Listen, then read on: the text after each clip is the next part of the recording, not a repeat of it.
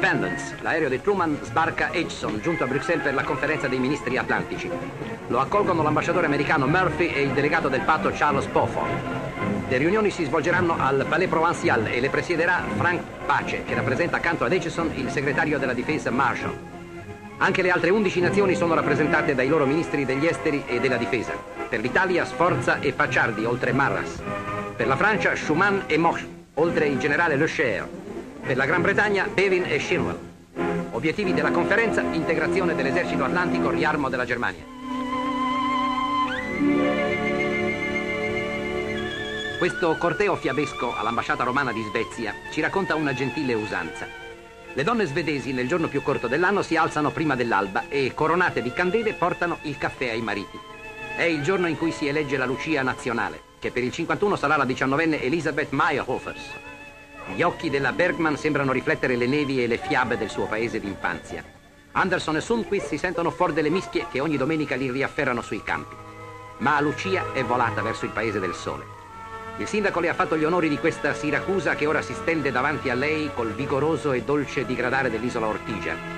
Siracusa è la città di Santa Lucia, antica martire della propria bellezza. E la Lucia svedese le ha portato la sua bellezza come un omaggio di devozione. Lucia viene da luce, ripetono i siracusani. E infatti dall'orecchio di Dioniso riconducono la Lucia del nord sotto il sole nella vasta luminosità del teatro greco a mietere luce, a riempirsene la vista abbagliata e felice. Che Santa Lucia ti conservi la vista. Le età dell'uomo. 80 e fa un golfino. 55 anni e stira la biancheria da cui un'altra, 33 anni, sta detergendo le piccole magagne di un signorino.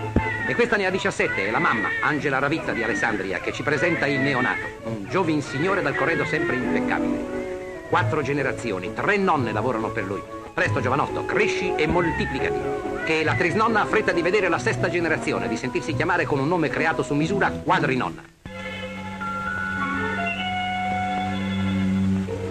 Bianchi come i rami di un abete natalizio gli ormeggi delle navi a Genova. Gli scaricatori guarderanno da esperti i moli, i pontili, le chiatte, le barche. Il sindacato delle nuvole d'inverno sta facendo alle loro braccia una fenomenale concorrenza. In poche ore ne ha scaricata della merce in arrivo. Ci vorrà forza di badili e di sole per decongestionare da questa improvvisa abbondanza le tolde e le banchine. I magazzini ne hanno fin sopra i tetti. Le gru e le merci si sono messe l'ermellino. Ora può venirne della neve. Non avranno più freddo. Si è sempre detto che la grande risorsa d'Italia è il carbone bianco. Anche il carbone nero, arrivando tra noi, vuole essere del paese, diventare carbone bianco.